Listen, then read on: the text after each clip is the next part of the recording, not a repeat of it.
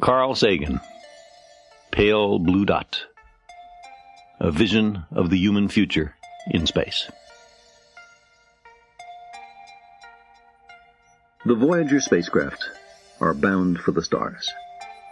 They're on escape trajectories from the solar system, barreling along at almost a million miles a day. The gravitational fields of Jupiter, Saturn, Uranus, and Neptune have flung them at such high speeds that they've broken the bonds that once tied them to the sun. Have they left the solar system yet? The answer depends very much on how you define the boundary of the sun's realm. If it's the orbit of the outermost good-sized planet, then the Voyager spacecraft are already long gone. There are probably no undiscovered Neptunes. If you mean the outermost planet, it may be that there are other, perhaps Triton-like planets far beyond Neptune and Pluto. If so, Voyager 1 and Voyager 2 are still within the solar system. If you define the outer limits of the solar system as the heliopause, where the interplanetary particles and magnetic fields are replaced by their interstellar counterparts, then neither Voyager has yet left the solar system, although they may do so in the next few decades. But if your definition of the edge of the solar system is the distance at which our star can no longer hold worlds in orbit around it, then the Voyagers will not leave the solar system for hundreds of centuries. Weakly grasped by the sun's gravity, in every direction in the sky, is that immense horde of a trillion comets or more, the Oort cloud.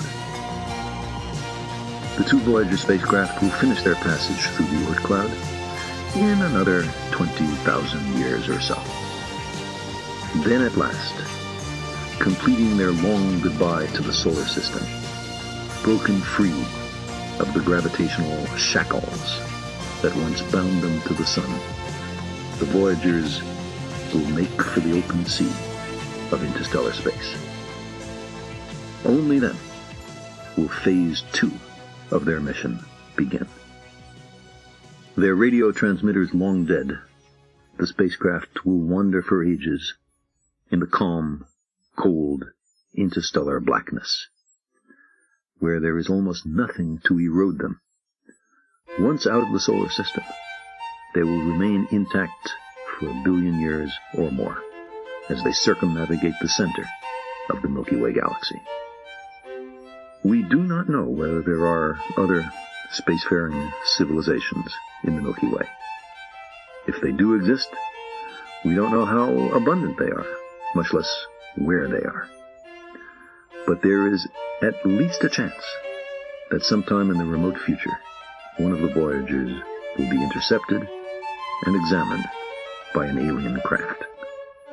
Accordingly, as each Voyager left Earth for the planets and the stars, it carried with it a golden phonograph record encased in a golden mirrored jacket, containing, among other things, greetings in 59 human languages and one whale language, a 12-minute sound essay, including a kiss, a baby's cry, and an EEG record of the meditations of a young woman in love. 116 encoded pictures on our science, our civilization, and ourselves, and 90 minutes of the Earth's greatest hits. Eastern and Western, classical and folk, including a Navajo night chant, a Japanese shakuhachi piece, a pygmy girl's initiation song, a Peruvian wedding song, a 3,000 year old composition for the ch'in called Flowing Streams, Bach, Beethoven, Mozart, Stravinsky, Louis Armstrong, Blind Willie Johnson, and Chuck Berry's Johnny B. Goode. Space is nearly empty. There's virtually no chance that one of the Voyagers will ever enter another solar system. And this is true even if every star in the sky is accompanied by planets.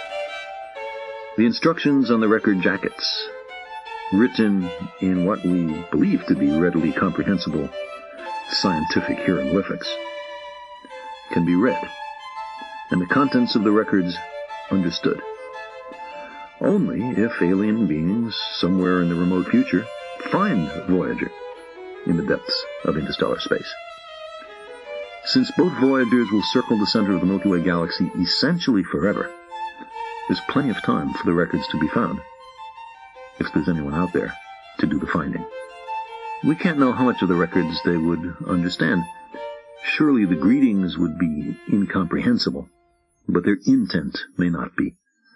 We thought it would be impolite not to say hello. The hypothetical aliens are bound to be very different from us, since they're independently evolved on another world. Are we really sure they could understand anything at all of our message? Every time I feel these concerns stirring, though, I reassure myself. Whatever the incomprehensibilities of the Voyager record, any alien ship that finds it will have another standard by which to judge us. Because each Voyager is itself a message.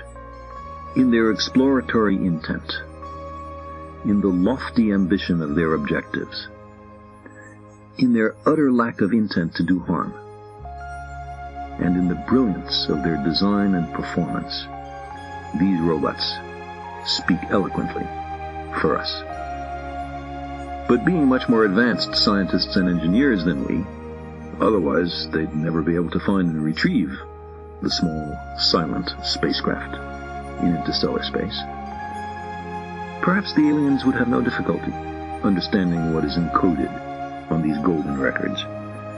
Perhaps they would recognize the tentativeness of our society, the mismatch between our technology and our wisdom.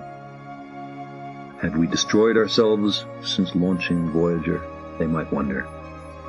Or have we gone on to greater things? Or perhaps the records will never be intercepted. Perhaps no one in five billion years will ever come upon them. Five billion years is a long time. In five billion years, all humans will have become extinct or evolved into other beings. None of our artifacts will have survived on Earth. The continents will have become unrecognizably altered or destroyed. And the evolution of the sun will have burned the Earth to a crisp or reduced it to a whirl of atoms and far from home, untouched by these remote events, the voyagers, bearing the memories of a world that is no more, will fly on.